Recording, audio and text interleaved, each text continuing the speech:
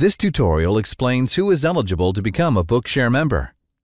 Bookshare's eligibility criteria are based on the Chafee Amendment to U.S. copyright law. The Chafee Amendment makes it legal for Bookshare, a nonprofit entity, to provide accessible versions of books and periodicals to people with print disabilities. Bookshare's eligibility categories are therefore defined by the wording of the Chafee Amendment rather than by education law. This chart describes who is eligible to become a Bookshare member.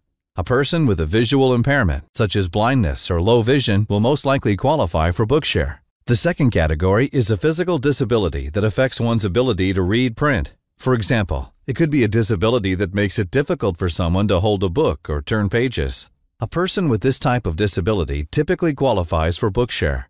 The third category of disability is a severe learning or reading disability that affects the person's ability to read standard print. Severe dyslexia is one example. Proof of disability is required of every prospective Bookshare member. Those who wish to sign up for an individual Bookshare membership will find a proof of disability form on the Bookshare website. This form must be completed by a competent authority and submitted to Bookshare as part of the sign-up process.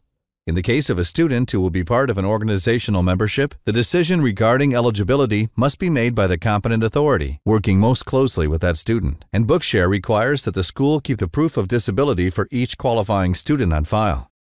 In the case of a visual impairment, a competent authority may be a teacher of the visually impaired, a special education teacher, family doctor, ophthalmologist, or optometrist. For someone with a physical disability that prevents reading, a competent authority could be a special education teacher or resource specialist, a family doctor or other medical professional, or a physical therapist.